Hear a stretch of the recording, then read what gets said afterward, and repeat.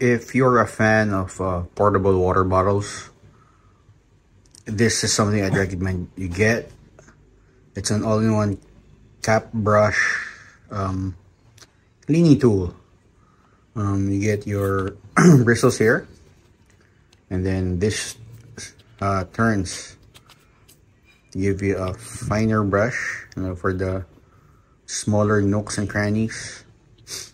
And then on the other end, you get this. You use this on the top part of your uh, bottle, uh, the one where you twist the cap in. So you you you slide it along those lines to give it a good clean. And